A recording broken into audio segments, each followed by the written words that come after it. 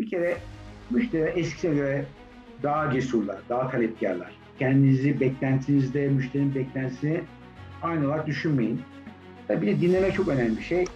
Dinlemek sadece yani kulaklarımız dinlemiyoruz, bedenimizle dinliyoruz. Bunu her zaman için kullanıyorum ve inanın e, sihirli kelime gerçekten. Kullanıldığı zaman e, ilk başta söylemiş olduğunuz şeyi tamamen yok ediyor. Yani bugün bir insanı tanımak demek o kişinin neye inandığına, hangi değerlere sahip olduğunu bilmeniz lazım. Kendine değer vermeyen karşı insan değer vermiyor. Kendisini anlamayan bir insan, kendisini çözemeyen bir insan karşını çözemiyor. O yüzden yani başkana eğer bir yardım istiyorsak ilk yapmamız gereken şey kendimizi iyi anlamak. En önemli yetenek bu. Hayır demesine bilmek. Şimdi müşteriye baktığında şimdi 21. yüzyılda müşteri. Şimdi müşteri tabii çok değişiyor dünyada. Bir kere müşteri eskisine göre daha cesurlar, daha talepkarlar. Daha eğitimliler. Ondan sonra e, tabii şüpheciler sadık değiller artık. Yani sadakat çok nadir olan bir şey oldu esasında. Ondan sonra e, genelde ne isteklerini çok bilirler müşteriler genelde. Ondan sonra işte kavga etmezler. Yani esasında bugün müşteriler esten yani çok gürültü yapıp sonra şey yaparlardı. E, e, firma değiştirirlerdi. Şimdi yeni yeni dünyada yani müşteriler yani birkaç kere uyarıyorlar. Bakıyorlar değişim olmuyor. Hızlı bir şekilde farklı firmaya geçiyorlar. Bunda özellikle yenileme dönemlerini görüyoruz. Yani iyi görmeyen e, veya da işte iyi hizmet almayan e, büyük müşteriler hızlı bir şekilde yani üretici diyorlar ki biz çalışmak istemiyoruz. Yani ne kadar sizin yenilemeniz, korumanız varsa da biz bu firmayla devam etmek istemiyoruz. Yani bu çok sıkça, özellikle bana geldiği için bunlar çok sıkça karşılaştığımız sorun yani. Müşteri memnun değilse hizmetten lisansı da o firmadan almak istemiyor. Yani bir şekilde onu cezalandırıyor. Ee, bunu da üreticiye söylüyor. Tabii bunu biz tabii biz paylaşamıyoruz bayilerle. Ama bu sene üç tane vaka oldu. Büyük müşteri. Üçü de bankaydı. Bir tanesi Migros'tu. Oldu yani. Kesinlikle müşteri lisans okumayı yapmayı çünkü servisinden memnun olmadığı söyledi. Yani o yüzden bayiler bazen e, servis kaybettikleri zaman lisans da kaybediyorlar. E, bakın e, deneyim çok kıymetli. Yani bugün herhalde yani benzersiz rekabette en önemli şey deneyim. O yüzden de burada özellikle aranızdaki deneyimli arkadaşlar çok büyük katkısı var çok önemli değerler yaratıyorlar. E, tabii burada sadece bilgiden bahsetmiyorum ben. E, davranıştan, o anda nasıl olayı yönetiyor, nasıl problem çözüyor, nasıl müşteri idare ediyor, iletişim nasıl ayarlıyor e, gibi e, birçok şey içeriyor. Yani sadece içermiyor, davranış, tutum, tavır içeriyor.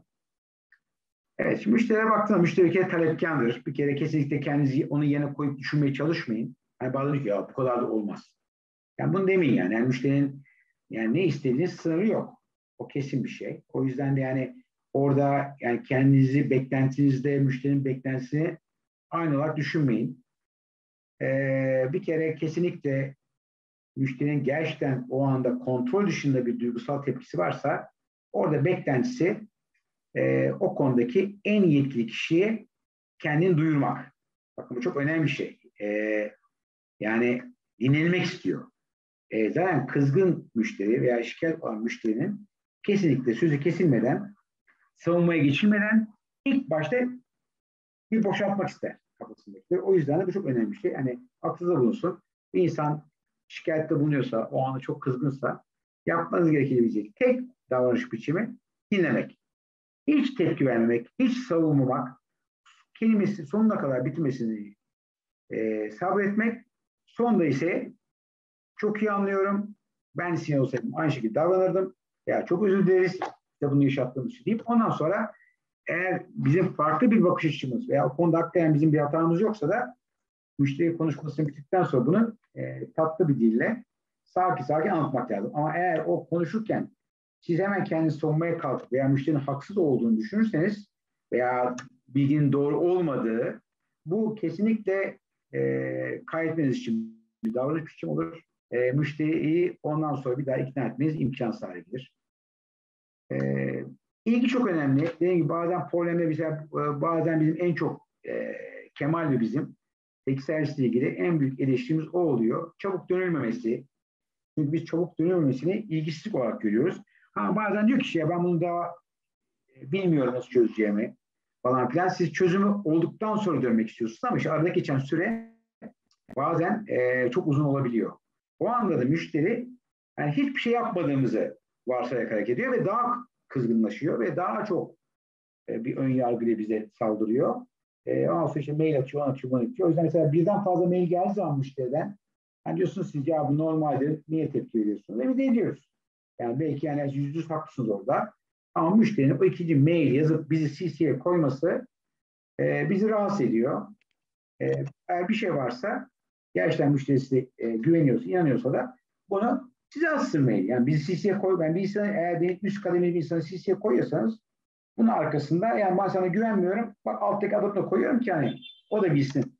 Sana baskı yapsın gibi bir oluyor. Ee, sizin durumunuzla ilgili kesinlikle ilgilenmezler. Bahane duymak istemezler. Ee, müşterinin temel size gelme sebebi her zaman için hani onun ya yardım etmeniz veya onun durumunu daha iyi hale getirmenizdir. Ee, bunu da yaptığınız zaman müşteri ile ilgili uzun vadeli çok iyi bir ilişkiniz olmuş olur. Dedim kendiniz hakkında konuşmayın. E, o soru sor, sormadığı sürece. Bir de dinlemek çok önemli bir şey. Dinlemek e, sadece yani kulaklarımız dinlemiyoruz, bedenimizle dinliyoruz. Kafam, kafamız sallayarak dinliyoruz. Hmm diyoruz. Abi, ses çıkarak dinliyoruz. Soru soruyoruz. Yani aktif dinleyin. Yani bazı insanlar var ki hiç hani yani karşıyı bölmemek adına hiç e, susuyor, hiçbir şey yapmıyor ama bu dinlemek olmuyor. Karşı bunu öyle algılamıyor. E, dinleyen insanın muhakkak sizden bir ses çıkmasını, fiziksel olaraktan e, kafanızı, ellerinizi sallamasını, tekrar etmenizi, özetlemenizi, soru sormanızı veya destekleyici yorumlar yapmanızı bekliyor. E, sessiz sessiz olaraktan yapmanız zaman etki dinlemiş olmuyorsunuz. Etki dinlemeniz için de müşteri esasında e, çok e, olumlu duygular sahip olmuyor. Evet. Ya ben en çok kullandığım budur. Mesela bugün beni herkes arıyor. Cep telefonu arıyor, her arıyor. İlk söylediğim şey e, hiç tanımıyorsam size nasıl yardımcı olabilirim? E, bunu her zaman için kullanıyorum ve inanın e, sihirli kelime gerçekten. Yani mesela, mesela bir, tane, bir şey ilk isterken aynı şey yapıyorum ben. Ya bana yardımcı olur musunuz? gibi başladığım zaman çoğu zaman insanlar gerçekten yardımcı olmaya çalışıyor. O yüzden bu yardımcı olabilir kelimesi e, çok güzel bir kelime. Onun dışında e, daha çok sizli konuşmak ve ama ve fakat sözcüklerini mümkün olduğu kadar kullanmamak gerekiyor. Çünkü ama fakat kelimeleri e, kullanıldığı zaman e, ilk başta söylemiş olduğunuz şeyi tamamen yok ediyor. Yani bir şey söyleyip ama fakat dediğiniz zaman daha önce söylediğiniz bir anlamı olmuyor. O yüzden ve kelimesini kullanabilirsiniz. E, mümkün olduğu kadar ama ama fakatı bence kullanmaya çalışın. Şimdi, şimdi insana bakalım biraz da buradan biraz iletişime geçiyorum müşteriden. Ya hepimiz esasında farklı kişiliklere sahibiz. Önemli bir şey bu. Hepimiz farklıyız. Ee, ve esasında bu farkımız dünyayı da renkli hale getiren. Ee, ama kişiliklerimiz dışında, yani kişiliklerimizin doğuştan gelen özelliklerimizle daha sonra kazandığımız e, eğitimle, çevremizden, annemizden, babamızdan, okuldan kazanmış olduğumuz e, davranışlardır kişiliğimiz. Yani duygu, düşünce, davranışa kişilik deniyor. Bir duygu, düşünce, davranış. Bir insanın davranışını değiştirmesi için düşüncesini değiştirmesi gerekiyor. Düşünce değişince duygular değişiyor, duygular değişince davranış değişiyor. Ama davranış da duygu değiştiriyor. Yani ister davranıştan duygu değiştirir, ister duygudan davranış. Hangisi de o anda elinizde e, imkan varsa yani şimdi e, dav, insan olumsuz bir durumda davranışı değiştirekten de olumlu olabilir. Tam tersini yapabilir. Aynı şekilde duygularımız kullanıp davranışlarımız daha pozitif yapabiliriz. Fakat en önemli şey değerlerimiz. O yüzden de bir insanla e, ilişki kurmanın e, iyi ilişki kurmanın arkasında o kişinin değerlerini iyi bilmek var. Hatta inançlarını bilmemiz gerekiyor. Yani inançlı değer aynı şekilde de kullanılıyor. Yani bugün bir insanı tanımak demek o kişinin neye inandığına, hangi değerlere sahip olduğunu bilmeniz lazım. Mesela adam adalet, hak bu, bu tip bir kişi ise e, mesela başarıyı nasıl tanımlıyor kişi? Yani herkesin ne bileyim aile nasıl bir kavram için O yüzden bugün yapmamız gereken şey, hani bir insanla daha samimi oluyorsunuz ya, samimiyetteki en önemli şey, karşı insanın değerlerini, neye önem verdiğini, neyin onun için vazgeçilmez olduğu, ne konuda çok sağlıklı fikre sahip olduğunu bilmeniz gerekiyor. E, o yüzden de yani kişi sadece kişi, kişiliğimiz değil, kişiliğimizin bir parçası olan değerlerimizi de bilmemiz gerekiyor. Bu da esası bilirseniz de hem o müşteriye daha yakınlık kurabilirsiniz hem de daha çok hassasiyet gösterebilirsiniz. E, mesela dürüstlük e, dikkat edin. E, çok önemli kavram. E, hem bunu Burak hem Anıl söyledi. Mesela ben de şirkette satışta yaptığım e, bir ankette adalet mesela bizim satışta en çok öne çıkan değer oldu. E, o yüzden de bugün mesela ülkemizde de şu anda en çok insanların mutsuz oldukları konu e, adalet ve haklar konusunda oluyor. Çünkü insana çok fazla kıymet vermiyor. O yüzden de önemli bu. Şimdi, şimdi gelelim kendinize. Kendiniz ne kadar farkındasınız? Şimdi nasıl insan kendi farkında oluyor? Şöyle, bir kere şimdi hep empatiden bahsedeceğim. Bakın şimdi bir insana empati yani karşı insanın duygu ve duygularını anlayıp veya bakışını anlayabilmek için öncelikle bir kere kendinizi tanımanız gerekiyor.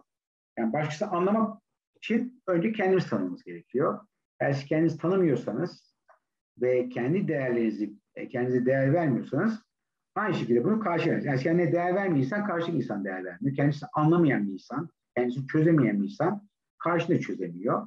O yüzden yani başkana eğer biz yardım etmeyi istiyorsak ilk yapmamız gereken şey ki kendimizi iyi anlamak. E, kendimize önem vermek, değer vermek. Aksi takdirde e, karşısında da aynı sıkıntıları yaşayacağız. Şimdi kendimizi nasıl tanıyabiliriz? Ona bakalım biraz. Şimdi bir tanesi sınırlarını bilmek. Çoğu insan sınırlarını bilmiyor. Özellikle o yüzden hayır diyemiyoruz. Yani eğer insanlar sınırınızı bilmesi istiyorsanız hayır demesi öğrenmeniz gerekiyor. Yani önemli yetenek bu. Hayır demesini bilmek.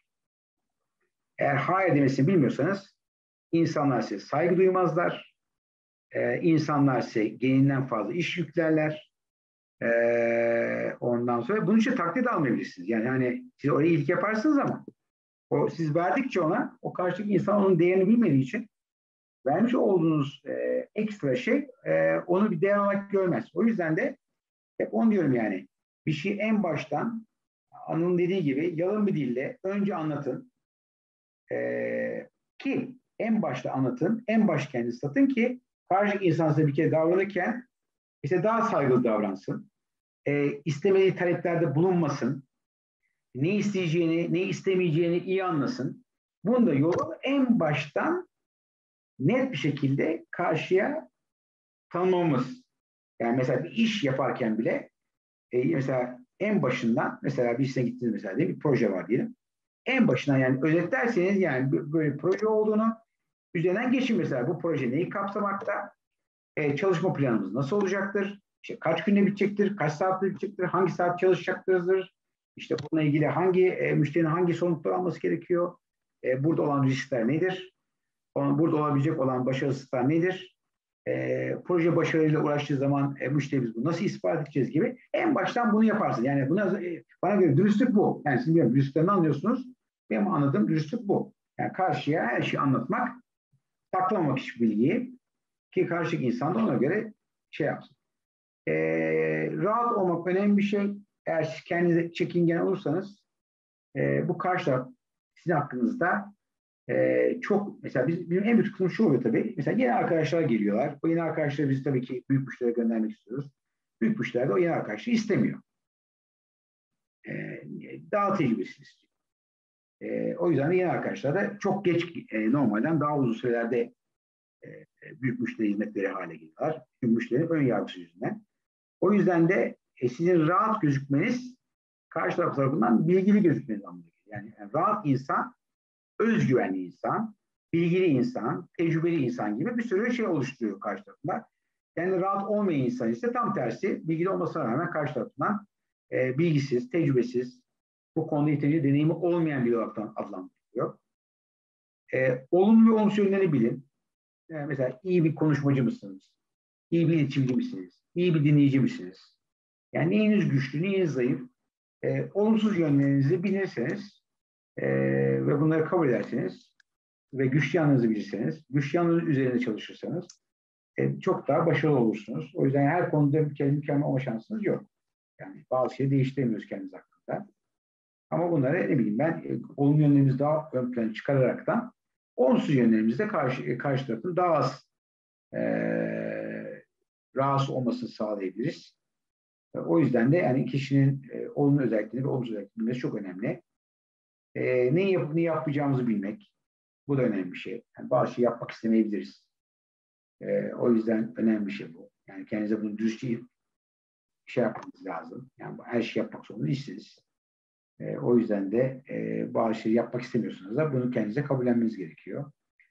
E, ondan sonra alternatif herhangi bir şey yaparken, herhangi bir deneyim yaşarken ne hissedeceksiniz, ne düşüneceksiniz, ne yapacağınızı bilmek. Bu önemli bir şey.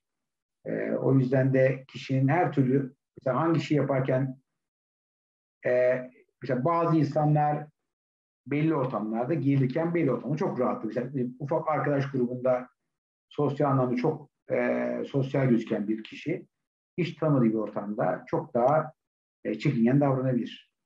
E, mesela kişi çok güzel konuşmacıdır da e, topluluk önünde, kalabalık toplulukta konuşamaz. E, yeni insan tanışırken daha çekingendir. Gibi gibi gibi e, birçok şey olabilir. O yüzden de bence bunların hepsini bilirseniz çok daha kendinize rahat olursunuz. Ayrıca kişinin kendi istekleri ve ihtiyaçları. Mesela çünkü istekleri ve ihtiyaçları karşılanmış kişi her zaman için mutsuz olur, huzursuz olur, gergin olur ve bunu her zaman için dışarıya yansıtır.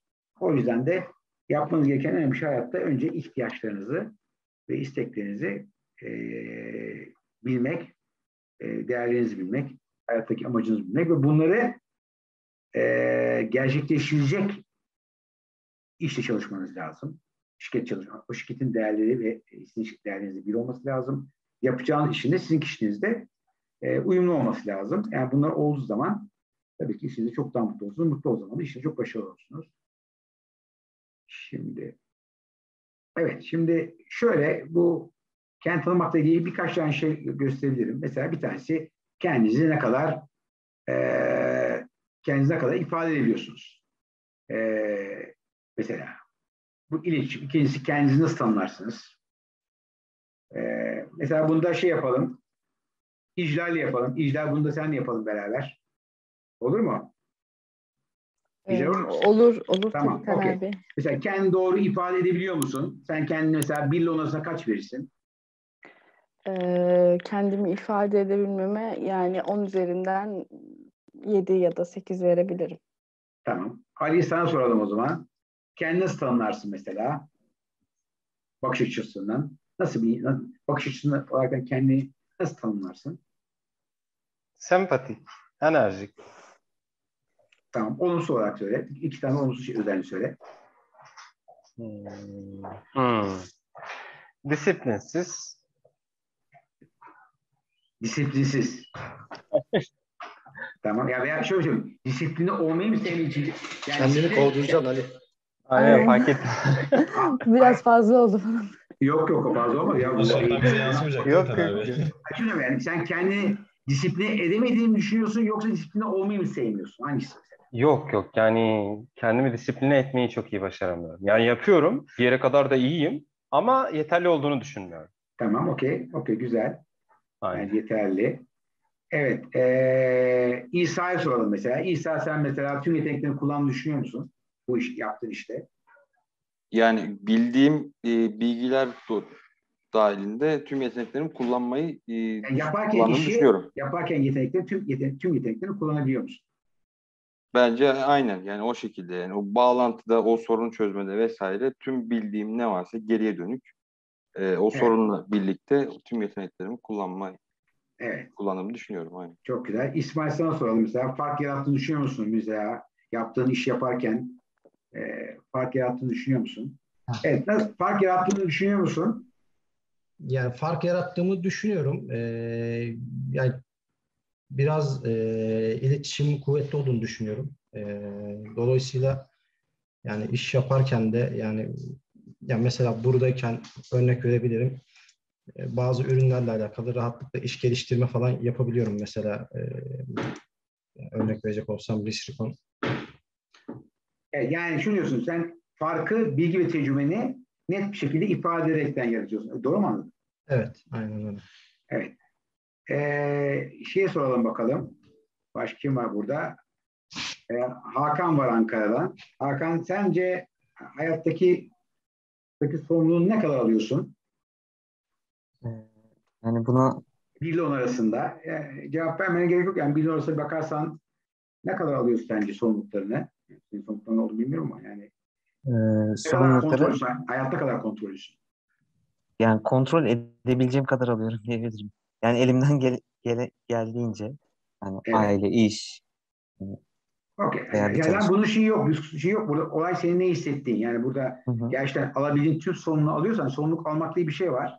Yani sorumluluk alırsan sorumluluk alarak davranırsın. Sorumluluk almazsan da sorumluluk almadan davranırsın. Yani ikisi arasında çok büyük fark vardır yani.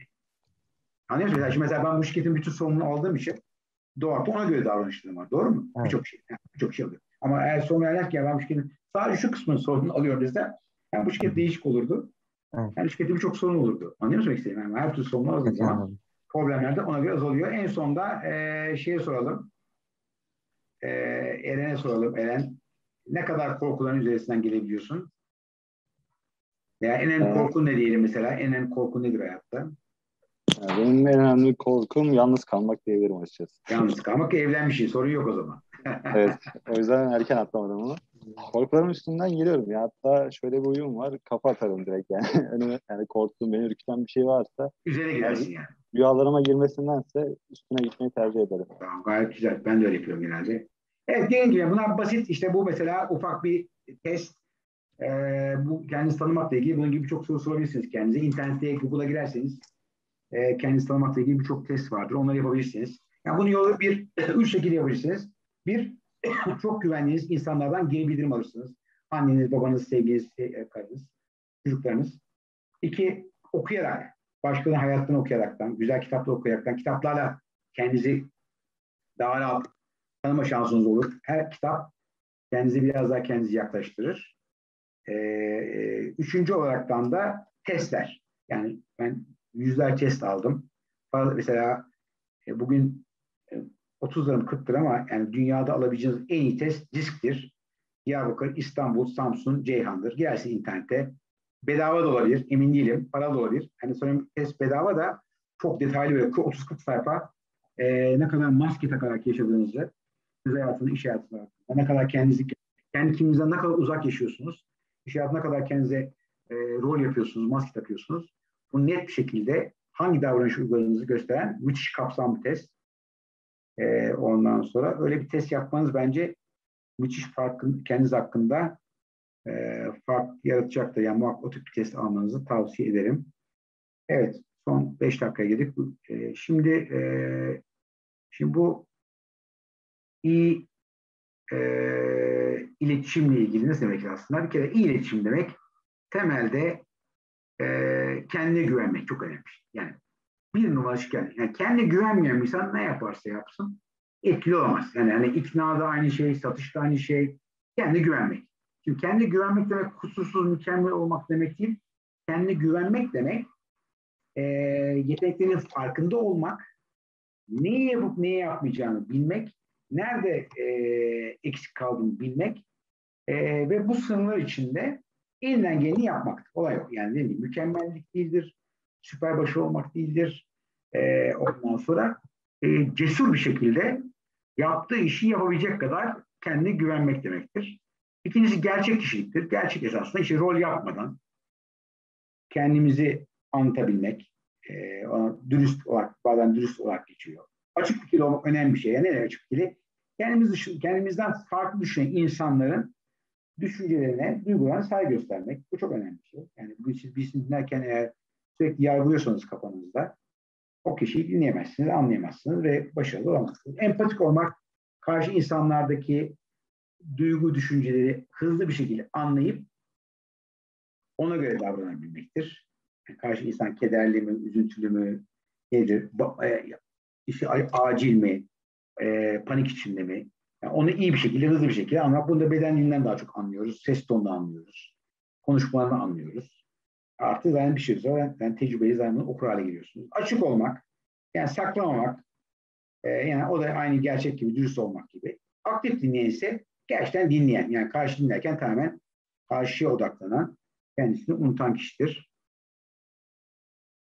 Müşterinin sizi tercih etmesi en büyük sebebi iletişim biçimimizden zevk alması olacaktır. Çok önemli bir şey. Yani değil mi? Bu müşterinin tercihte yani kişi eğer iyi iletişim kuruyorsa, keyif alıyorsa o kişiden muhtemelen onlar iş yapmak istiyor. O yüzden iletişim bu kadar önemli var. Etki iletişime bakalım bir de. Etki iletişim nedir? Dürüstlük yine aşağı hakkında. Kendin olmak. Birbirine çok yakın kavramlar. Bütünlük. Bakın bütünlük önemli bir şey. Söylediğinle yaptığının yani söz verince yapabilmek. Yani insanın düşündüğünü, düşündüğü şeyi, yani kafasından getirdiği şeyi söylemesi, söylediği şeyi yapması. Buna bütünlük diyoruz. Yani siz insanlara bir şeyler söylüyorsunuz, şeyi yapıyor musunuz? Yani onun gibi, o, o öyle, yani söylediğiniz şeyi yapabiliyor musunuz? Düşündüğünüz şeyi söyleyebiliyor musunuz? Söylediği şeyi yapabiliyor musunuz? Bunun hepsi bütünlük yani. Söylediğimiz, düşündüğümüz, yaptığımız şeyin bir bütün olması. Eğer böyle olursa da cesur oluyorsunuz yani. İnsan yani düşündüğünü söyleyebiliyorsa, söylediğini yapabiliyorsa neden bir şey saklaması gerekmiyor. Yani buna biz dürüst diyoruz, gerçek diyoruz. O kişi de zaten bu enerjisi de ona da karizma diyoruz. Yani bu, buna zaten sahip kişi de karizmatik oluyor. Sevgi ise olaylara mümkün olduğu kadar kalpten yaklaşmak. Sevgi kelimesi. Sevgi derken sevmek değil. Yani bir şey bir şeye yaklaşırken mantık yerine, akıl yerine kalp yaklaşmak olaya. Yani olaya biraz daha duygusal olarak yani duygusal akıl, duygusal zekamız devreye sokmak. IQ'muz değil de duygusal zekamızla olaylara yaklaşmak. Öncelikle sonra analitik zekamızı kullanmak. Ondan sonra son slide'da bu sayıyorum. Evet. Etkin mesaj nasıl olur? Ee, mesela burada Abdurrahman mesela heyecanlı görüyorum. Ama e, bazen kendimizi az kelimeyle ifade etmemiz yani durarak konuşmamız yani konuşurken bir vurgu var. Yani sesimizin yüksekliği, alçaklığı, temposu ama en önemli şey ara sıra poz etmek. Çok önemli. Yani bir şey söyledikten sonra eğer karşının bu konuda e, düşünmesini, e, hissetmesini, bir e, olaya farklı bakması istiyorsak yapmamız gereken en önemli şey bunu e, bir şey söyledikten sonra sessiz kalmak. Yani bir süre karşı sessiz kalmak. Çok önemli bir şey. Sessiz kalmamız gerekiyor. Ee, ikinci kişi kişi karşıda istek yaratan bir şekilde istek yaratacak şekilde coşkulu bir şekilde anlatır ve her zaman için karşımızdaki insana ondan daha iyi bir hale getirebilecek bir şekilde ona bir bakış açısı verir, vizyon verir. İkna edici olur. İkna edici olması için de bizim önce inanmamız gerekiyor. Yani anlattığımız şeye inanmamız gerekiyor. İkna edici olmak lazım. Yani önce kendimizi satmamız gerekiyor. Yani bir insanı ikna etmek istiyorsak önce kendimiz ikna olmamız gerekiyor. Karşımızdaki insan ikna etme, yani kendimizi ikna etmeden hiçbir insanı ikna edemeyiz. Tek servis elemanlar niye daha çok seviliyor? Niye daha çok müşteriler güveniyor? Çünkü çoğu zaman sizler ikna olmadığınız konuda dürüst davranıyorsunuz. Bir satıcı gibi davranmıyorsunuz. Satıcı ikna olmadığı bir konuda da satmaya çalışır. İnanmadığı, emin olmadığı konuda. Ama tek elemanların çok azı, çok enlerdir yani inanmadığı bir şeyi savunması bir tek elemanın. Zamanında bizde Kubilay Nemisi var. Bilmiyorum Kubilay'ı tanıyan var mı içinizde? Evet. Ee, çok, çok orijinal bir insandı. Yani Kubilay hakikaten benim için hayatta çok eğlenceli. Çok keyif aldım tek elemanı. Müşteriye götürdüm onu mesela. Ondan sonra bir ürün anlatırdık. Aa müşteri derdi ki hemen alalım. Veya işte hemen işte bunu Kubilay derdi ki yok ya değmez ya. Boş boş buna, buna para vermeye değmez derdi. Müşteriye yani. Ben için sonuna gelmişim. Anlaşma imza atacağım. Ya hiç gerek yok ya. Elinizdeki ürün yapar. Böyle bir şey ihtiyacınız yok falan derdi. Yani kendi kafasına göre. Çok böyle hatta eğitimlerde de bazı konuşmalar var kulağımıza gelen. Tabii e, o tabii ki bunu yaparken bir şekilde kendi bilgisini satıyor ama işte bazen de e, şirketin çıkarı için bazı konularda e, biraz daha esnek davranmamız lazım. E, etkin mesaj önce uyum sağlamayı başarır. E, insanlar e, değişik e, bir gün inşallah öyle bir eğitim verir bize ki, insan kişiliği hakkında bir test yaparız. Çok eğlenceli bir eğitim. E, kişilik testi. Kişiliğinizi biliyoruz. Sonra da kişinize göre karakterinize onunla ilgili onunla inşallah başka bir zaman yaparım. E, kimde yaparım böyle bir şey. Gel geçsin. Önce uyum sağlamayı başarıyor. Yani karşılık insanın karakterine göre yapar. Karşılık insan işte yavaş konuşuyorsa yavaş konuşuyor, hızlı konuşuyor. Yani karşılık insanın analitikse analitik olarak yaklaşır. Karşılık insana göre mesaj iletir. Yani mesajı kendi istediği gibi değil de karşı insanın e, onu e, doğru şekilde alabilecek onda, hızda, kelimeler, sözcüklerle beden dili aktarır. Bir de en önemli şey karşımızdaki insanda tem, yapmak ne, ne diyorum aslında bir niyetimiz olmalı. Yani karşıdaki insanın sonunda bir aksiyon alacağı şekilde konuşmasını toparlar ve sonuçlandırır. Yani konuyu konuşmayı şey yapmaz. Sonuçsuz bırakmaz, açıkta bırakmaz. Muhakkak karşının en sonunda bir karar almasını, bir seçim yapmasını veya e, onunla ilgili bir düşüncesi konusunda bir e, karar vermesini sağlar.